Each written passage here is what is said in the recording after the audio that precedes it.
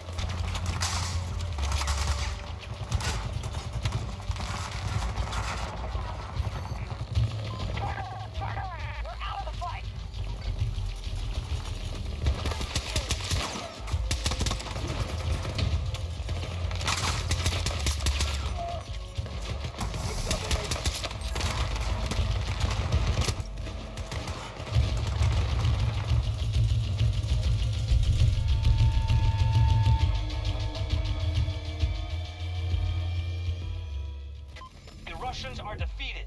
The entire site is now secure.